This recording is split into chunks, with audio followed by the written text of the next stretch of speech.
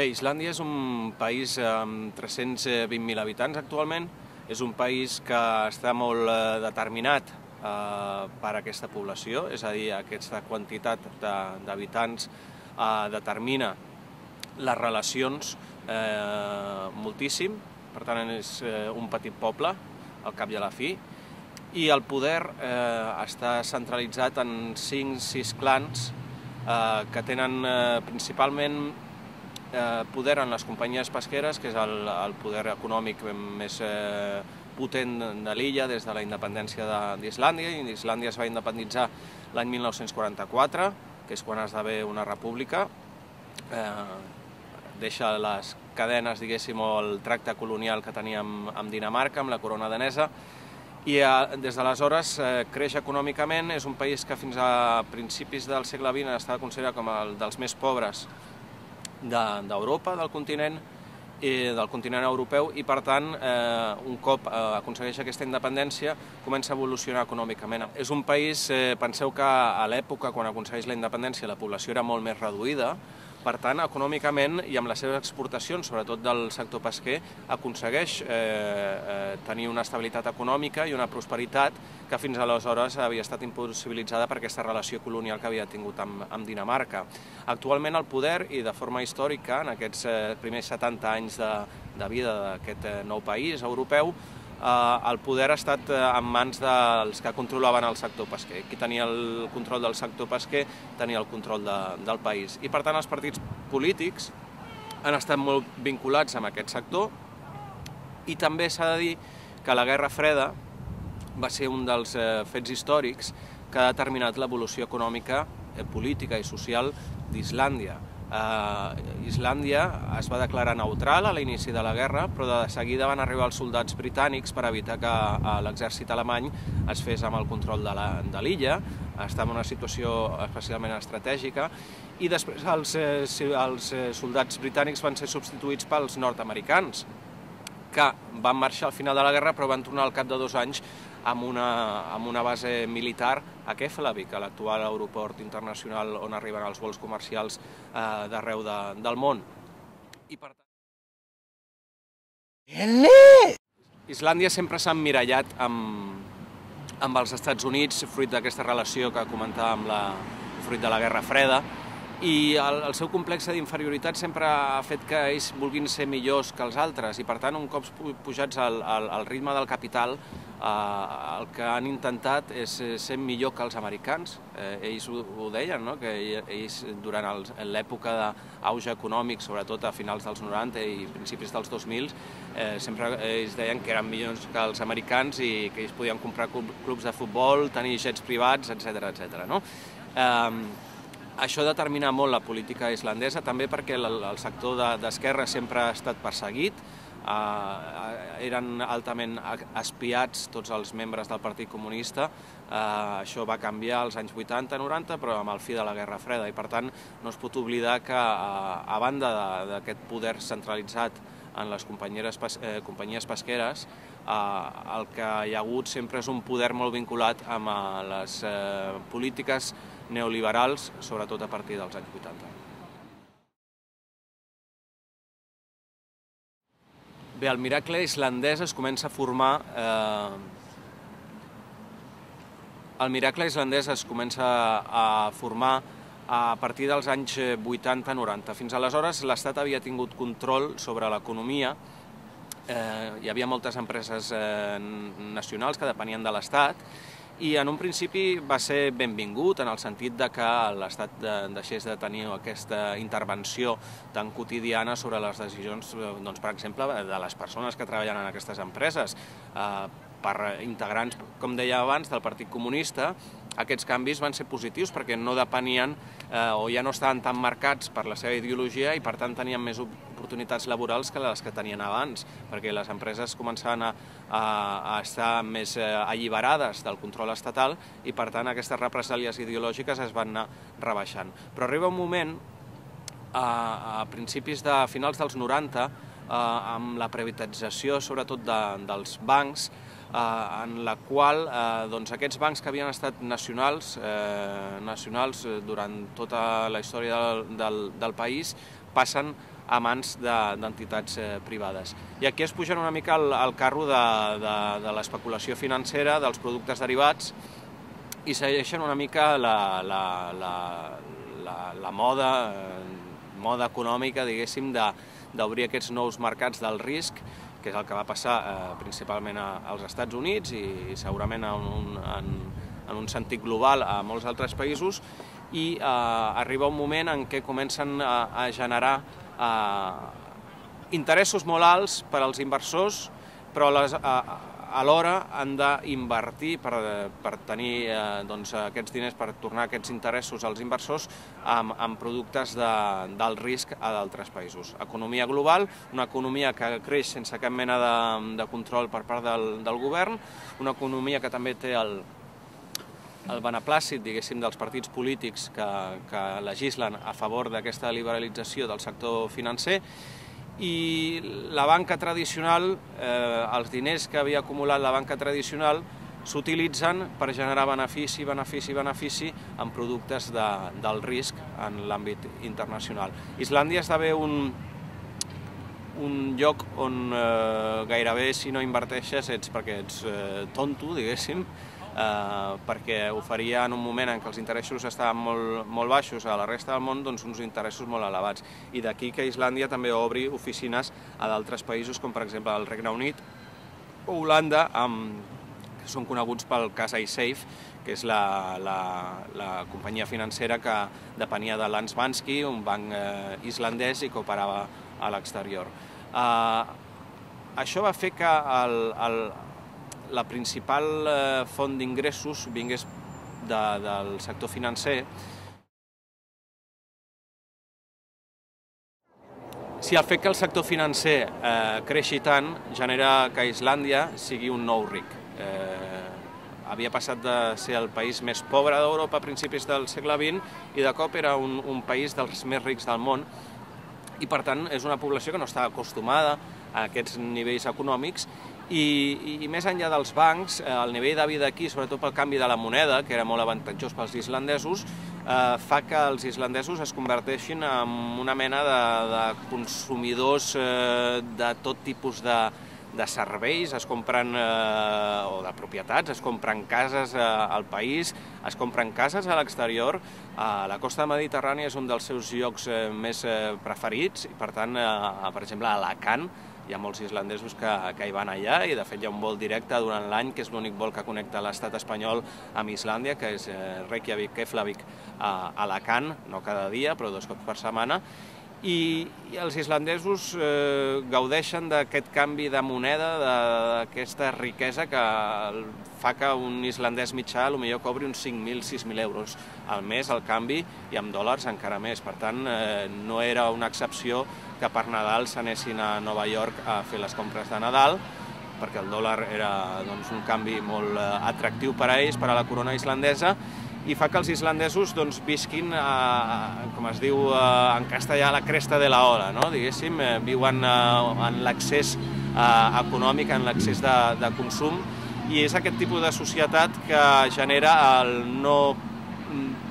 cap mena de sentit crític, és a dir, el sentit crític queda anul·lat perquè d'alguna manera en una societat tan petita tothom es beneficia d'aquesta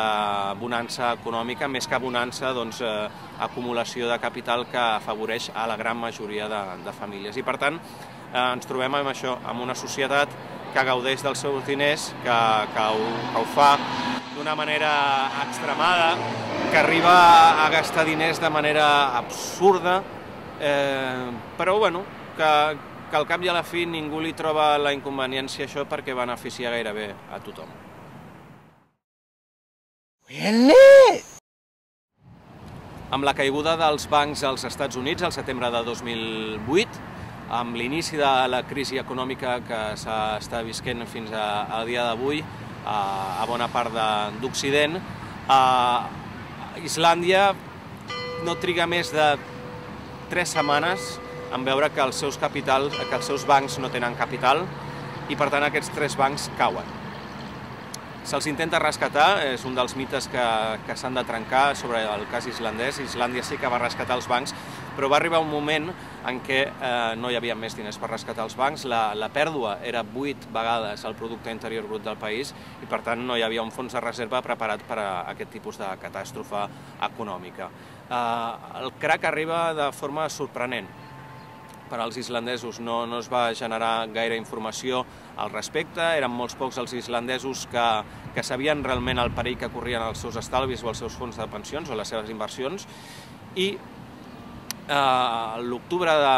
2008, a principis d'octubre de 2008, es comença a, a veure que la realitat és realment negra sobre, sobre Islàndia en el sentit econòmic i la gent eh, desperta d'un somni de, de, de, consumisme eh, absolut, d'un somni capitalista que havia situat a Islàndia com un dels països més rics del món i realment és, és, és, és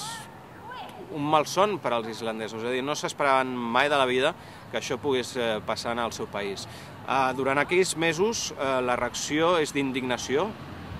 contra els banquers i més tard contra els responsables polítiques, polítics que, que no van actuar de manera adequada per evitar que aquest col·lapse arribés a l'illa. I de fet, segons la Comissió Especial d'Investigació, els eh, polítics islandesos ja tenien determinades pistes que això podia passar, que això podia succeir, i de 2006 les seves eh, polítiques van ser de passivitat absoluta davant d'aquest perill que estava allà, del qual n'estaven ben informats els líders, almenys el, el primer ministre i els seus col·laboradors més eh, propers, i això es comença a saber eh, en poques setmanes després del col·lapse i la gent reacciona doncs, venint aquí a la plaça del, del Parlament organitzant manifestacions que s'allarguen eh, fins al mes de gener-febrer, que és quan el govern de, del Partit de la Independència, que en aquell moment tenia la col·laboració eh, en coalició de l'Aliança Socialdemòcrata, però que era eh, un fet anecdòtic, perquè de fet sempre havia estat en coalició amb el Partit Progressista des del 1995 fins al 2007, eh, la gent, eh, aquesta revolució popular fa caure aquest govern, eh, dimiteix i s'organitzen unes eleccions en les quals guanya l'Aliança Socialdemòcrata i el Moviment d'Esquerra Verds, que és la primera coalició d'esquerres que governa el país en la història de, de la independència de la República. I per tant, el, el crac econòmic, primer hi ha un xoc inicial, eh, els islandesos ho defineixen i ho escriu molt bé Elvira Méndez en el seu llibre eh, La revolució de los vikingos, que tracta amb detall eh, aquells dies, la, la gent ho viu com una guerra invisible i ells se senten víctimes d'una guerra en la qual no s'ha utilitzat armament de cap mena, amb la qual no hi ha hagut víctimes eh, físiques, per dir-ho així, però sí que hi ha hagut eh, víctimes econòmiques que han eh, arribat a ser gairebé totes, la majoria de famílies islandeses, que veuen com les seves hipoteques es multipliquen per dos i per tres, perquè estaven moltes lligades al canvi de la corona islandesa amb moneda exterior, sobretot l'euro i també el dòlar americà, i passen del xoc a la indignació, molt ràpid, eh, el fet de que no hi hagi un aparell repressiu eh, amb tradició repressiva en aquest estat eh, internacionalment conegut o, o, o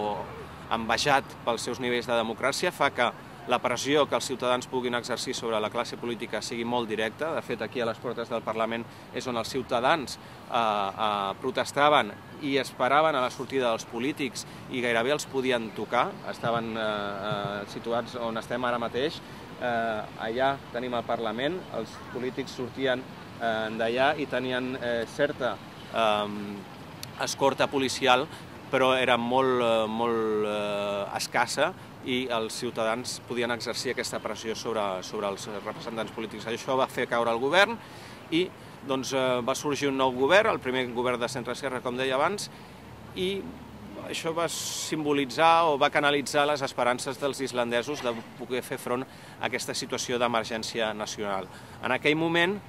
les respostes o les, les vies de sortida eren una gran incògnita i no, no es podia saber què, què podia passar, però en tot cas el que sí tenien clar és que el que havia succeït fins aleshores, aquesta passivitat dels governants respecte a les decisions dels bancs que havien compromès l'economia familiar de la gran majoria del país, no es podia tornar a repetir. I per tant, consideren que aquest, eh, aquest canvi, aquesta impossibilitat eh, de que això torni a passar passa per la redacció d'una nova Constitució i posen tots els seus esforços en la redacció d'aquesta nova Constitució.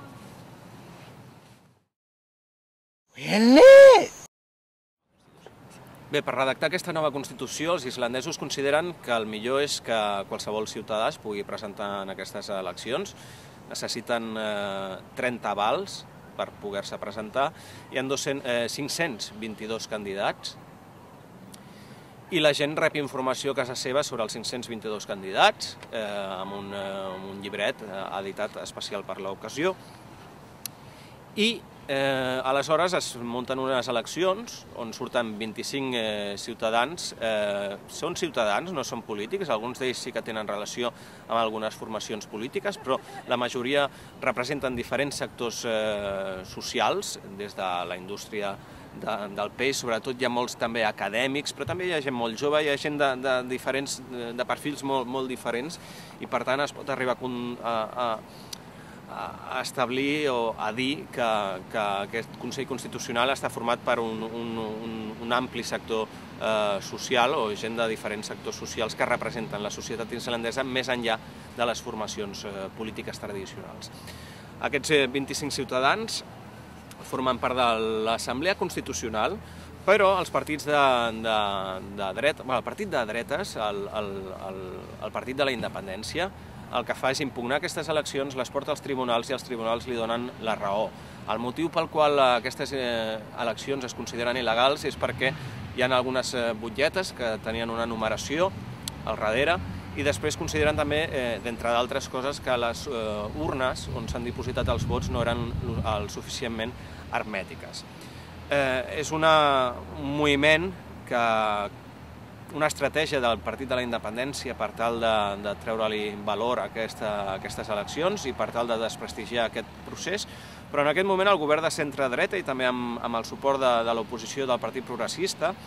el que decideixen és que aquests 25 ciutadans d'acord no formin part de l'Assemblea Constitucional que havia de sortir de les eleccions, però que formin un Consell Constitucional aprovat pel Parlament. Aquest Consell Constitucional està format pels mateixos 25 ciutadans i inicien un procés de redacció de quatre mesos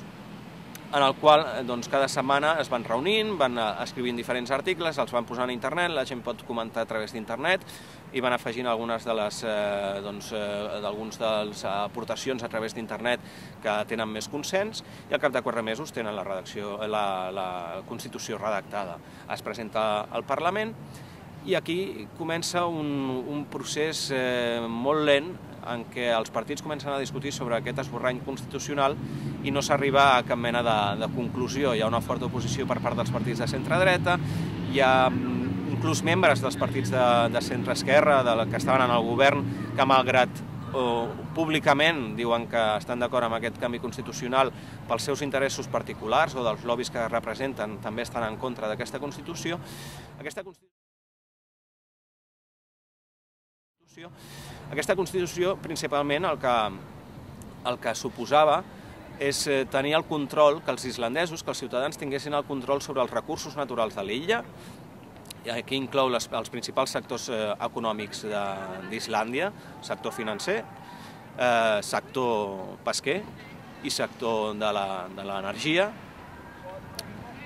energies renovables i la mineria també, eh, la, el tractament de, de l'alumini, indústria pesant, al cap i a la fi, que els islandesos tinguessin el control sobre aquesta, aquests sectors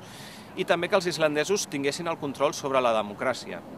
És a dir, que els islandesos eh, poguessin proposar lleis, per exemple aquesta nova Constitució que mai s'ha aprovat, però el que proposava és que un 10% dels ciutadans poguessin revocar lleis aprovades pel Parlament, un 10% de ciutadans que signessin en contra d'una llei aprovada pel Parlament, aquesta llei havia de ser duta a referèndum i si el referèndum sortia eh, doncs que no volien els ciutadans aquesta llei, eh, aquesta llei finalment no s'aprovava.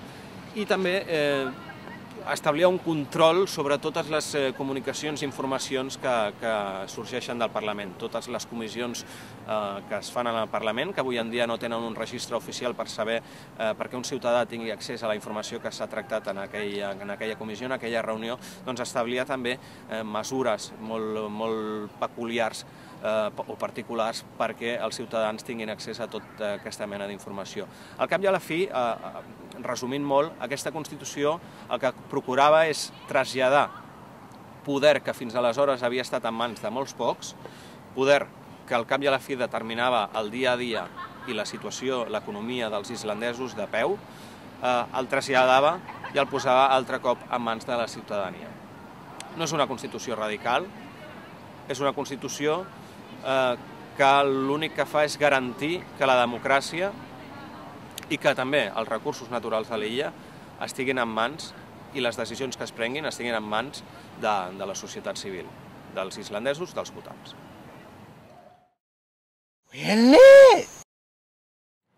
Hi ha molta gent que es pensa que aquesta Constitució islandesa, aquesta nova Constitució que va redactar el Consell Constitucional, els ciutadans, la Constitució popular,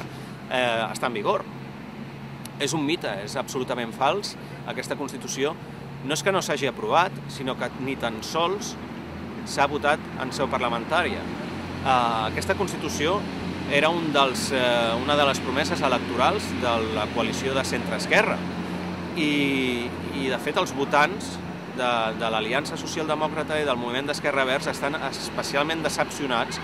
perquè no es va aprovar aquesta Constitució. I com deia, ni tan sols es va votar. Aquesta Constitució va passar per referèndum, no la Constitució sencera, sinó sis preguntes referents als canvis constitucionals. No era un referèndum eh, vinculant i, per tant, eh, no es pot considerar que aquesta Constitució eh, sigui la nova Constitució d'Islàndia, perquè senzillament no ho és. Uh, va haver un intent de, de que el Parlament ho votés en la darrera sessió de la, legis, eh, la legislatura anterior, la legislatura en què governava els partits de centre-esquerra. Una diputada del Moviment dels Ciutadans, que és el partit polític que va sorgir de la Revolució, va dur aquesta Constitució com a esmena a una altra llei i eh, el que va fer la presidenta del Parlament és posar a votació la llei sense que abans s'hagués votat si es volia l'esmena o no i això va facilitar que els diputats d'esquerra, dels partits de centre-esquerra, que estaven treballant per no votar a favor d'aquesta Constitució, malgrat públicament deien que sí, va facilitar aquesta acció de la presidenta del Parlament de posar en votació la llei i no l'esmena de la Constitució que aquesta, aquests representants de, dels partits de centre-esquerra no s'haguessin de posicionar públicament. Sí, hi havia un grup de diputats de l'Aliança Socialdemòcrata i del moviment d'Esquerra als Verds, que van ser els principals enemics d'aquesta nova Constitució, que malgrat formar part de partits polítics que havien dit que votarien que sí a aquesta Constitució, van fer tot el possible perquè aquesta Constitució no fos la nova Constitució d'Islàndia. I aquesta va ser la principal raó per la qual no es va aprovar aquesta Constitució del poble. Pels diputats de centre-esquerra que feien el doble joc, que públicament deien que sí i que a les cortines, rere les cortines, van fer tot el possible perquè aquesta Constitució no fos la nova Carta Magna d'Islàndia.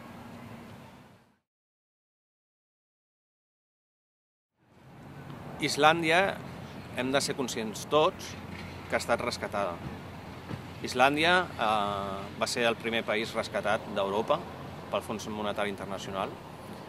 Islàndia va utilitzar els diners del seu fons de reserva per rescatar els seus bancs.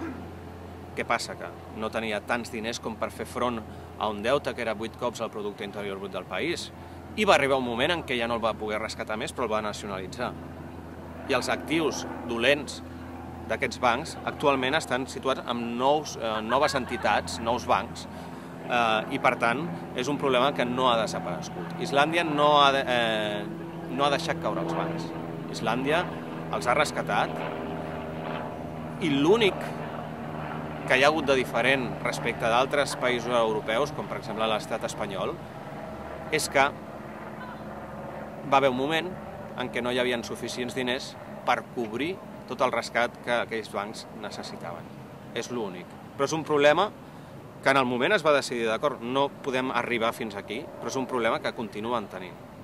Sí? Són uns diners que suposadament estan, fons de pensions, comptes corrents, inversions, inversors estrangers.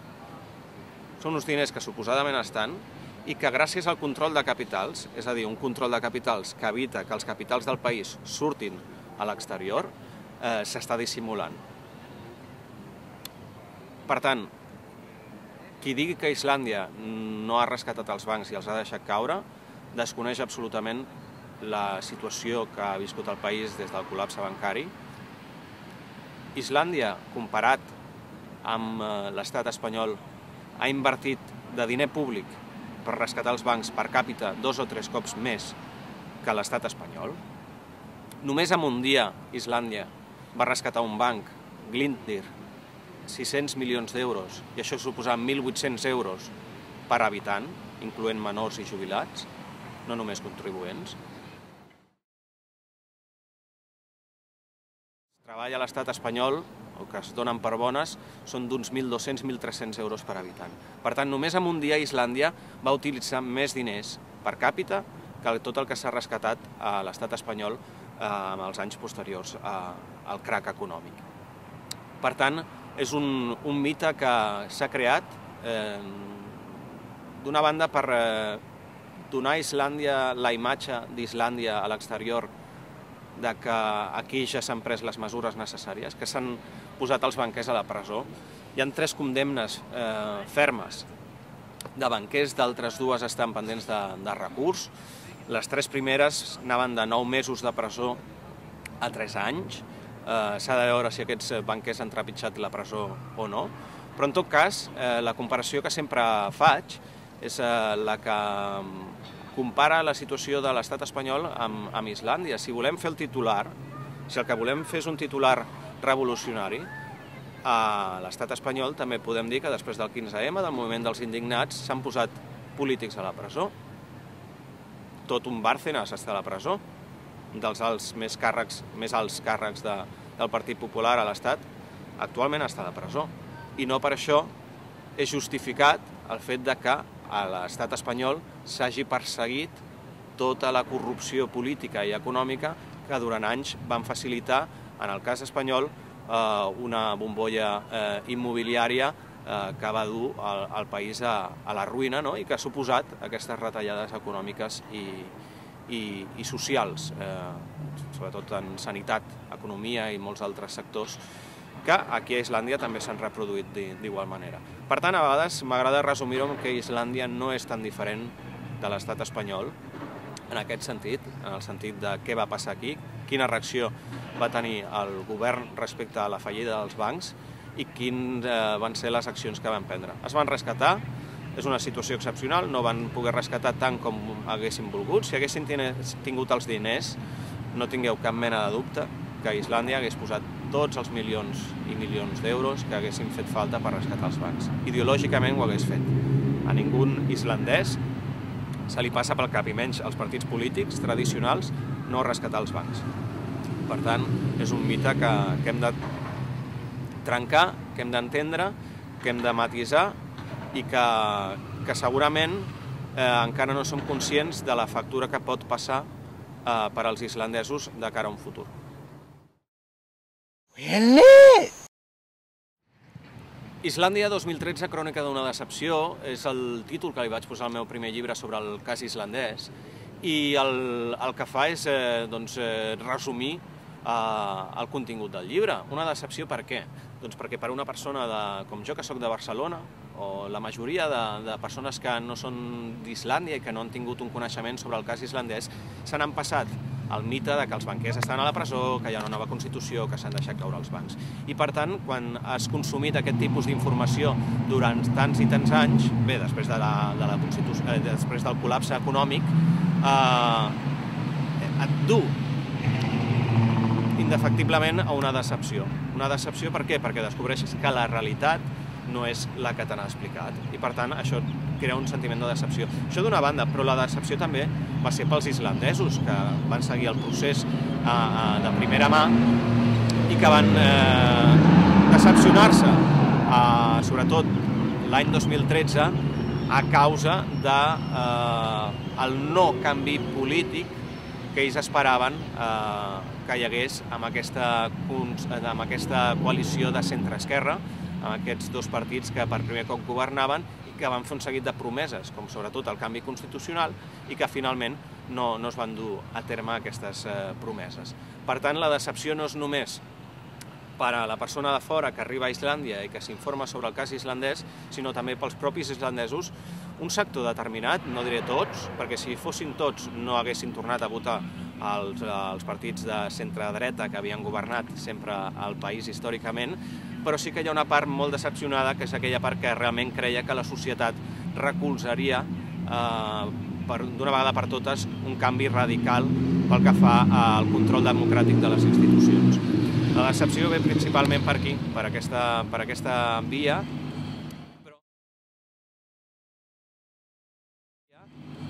però a dia d'avui eh, diria que la decepció no és una decepció generalitzada. Com que l'economia s'ha recuperat, sembla que, que la decepció amb les butxaques plenes no és tanta. I per tant, eh, no podríem dir a dia d'avui que Islàndia sigui un país revolucionari o que està pendent de dur a terme la revolució que s'havia proposat iniciar l'any 2008. Ara mateix els islandesos estan en un núvol, en el núvol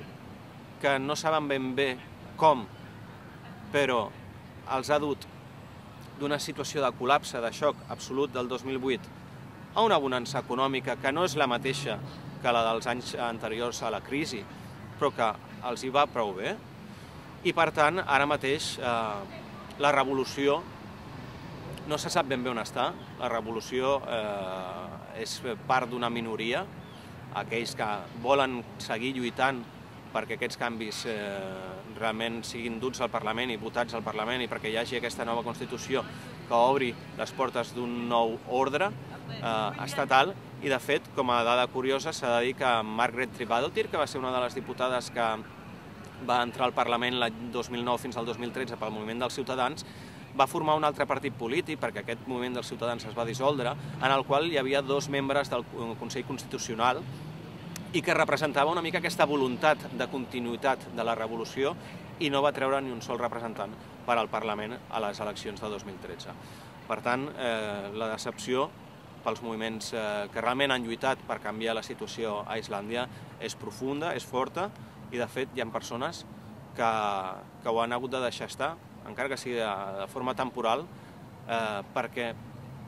no s'acaben de creure com pot ser que la societat que va sortir amb força aquí a la plaça del Parlament ara estigui desaparescuda i no tinguin cap mena de suport social. De fet, l'última eh, manifestació que hi va haver en contra del que havia passat dins del Parlament, de la no aprovació de la Constitució, va reunir 100 persones. I per tant la, la decepció és, és, és forta entre els islandesos que havien lluitat per fer, fer realitat aquesta Constitució.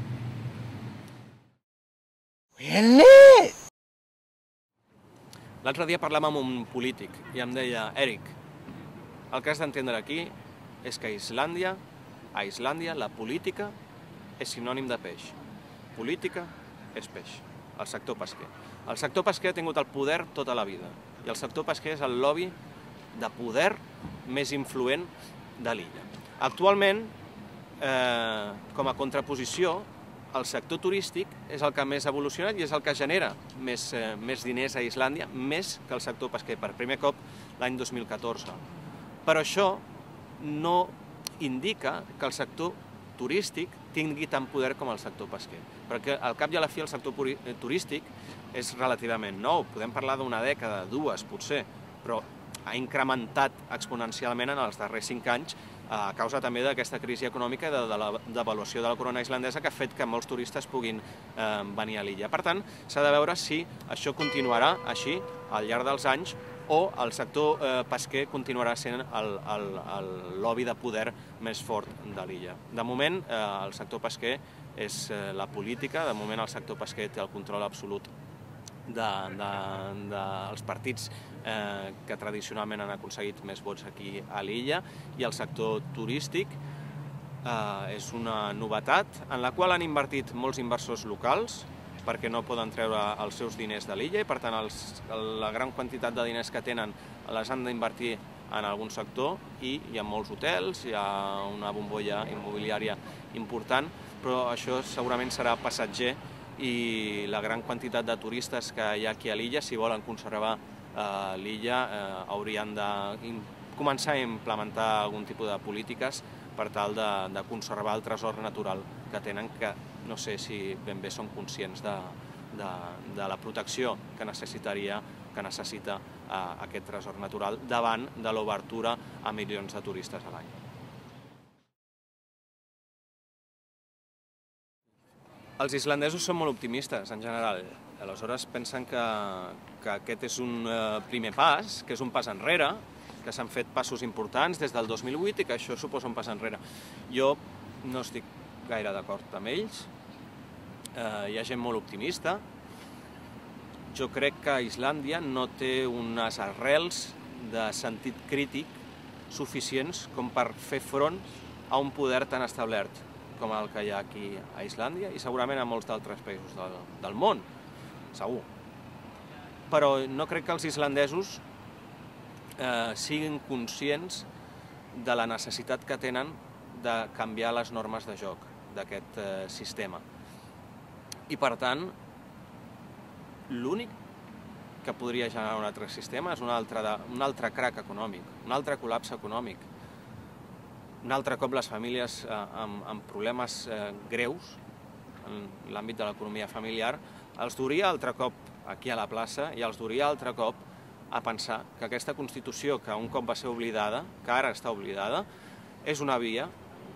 per controlar tot aquest eh, negoci d'especulació i posar unes noves normes. Però jo crec que la societat islandesa no està per, per aquest tipus de, de lluites actualment. Really? Eh, és difícil fer previsions, però jo crec que d'aquí 10 anys eh, Islàndia eh, continuarà sent el país que havia estat fins aleshores si se n'en surten econòmicament. Hi han dues opcions. Que Islàndia se n'en surti econòmicament i, per tant, oblidi la revolució i la oblidarà. Per què? Quatre anys de la revolució ja l'han oblidada. Si els hi va bé econòmicament, l'oblidaran. I l'altra opció és que hi hagi un col·lapse econòmic, conseqüència del mateix col·lapse econòmic que s'ha intentat arreglar i s'ha intentat tapar i s'ha intentat explicar que ja està, que ja està solucionat, però en veritat no. Jo crec que tindran problemes econòmics que ells ni tan sols s'imaginen i aquí és l'única oportunitat que tenen per fer un canvi, un canvi important, un canvi radical i per implementar, per exemple, aquesta Constitució que havien redactat i que finalment ha quedat tancada en un calaix. Són els dos escenaris que, que, que podem preveure, però si s'ho fan i els interessos eh, econòmics treballaran al màxim perquè així sigui, perquè el país tingui una prosperitat econòmica, estic absolutament segur que els islandesos no es tornaran a mobilitzar perquè aquesta revolució que va començar el 2008 acabi en bon port. I per tant, si les coses, si hi ha diners, la revolució s'oblida. I la gent que pensa que les revolucions no es fan en 4 anys, sí, les revolucions no es fan en 4 anys, però tampoc es fan en societats que no han tingut cap mena de tradició crítica respecte al poder, com és en el cas islandès. No hi ha unes arrels crítiques, no hi ha uns moviments socials crítics que treballin amb, amb, amb,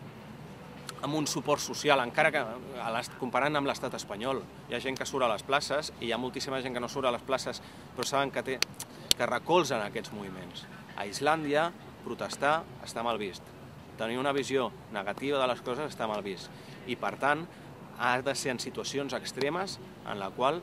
les persones, la ciutadania, decideixi eh, sortir al carrer. I les situacions extremes per a ells és quan no tenen diners.